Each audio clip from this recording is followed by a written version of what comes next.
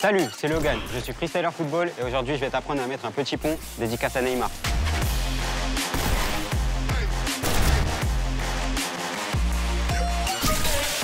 Ce geste technique va te permettre d'humilier ton adversaire et en même temps de mettre la foule en délire. Il faut savoir que le petit pont est tellement connu qu'il a sa propre discipline. Son nom, le street soccer. T'es prêt? Je te montre.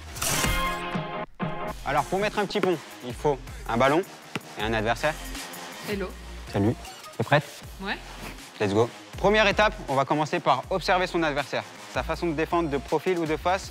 Je vois qu'elle est de face, donc je vais me placer de cette façon. Deuxième étape, je vais emmener mon adversaire à ouvrir les jambes, soit à droite, soit à gauche. Et troisième et dernière étape, tu vas devoir lui mettre un petit pont en lui faisant passer le ballon entre les jambes. Tu me suis Alors regarde bien. 1, 2, Allez, un petit ralenti au cas où t'es pas compris.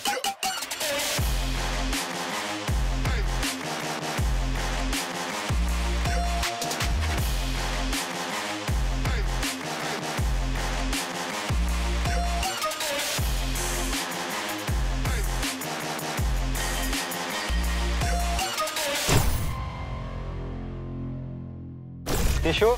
Alors prouve-le en postant ta vidéo avec le hashtag dédicace sur tes réseaux.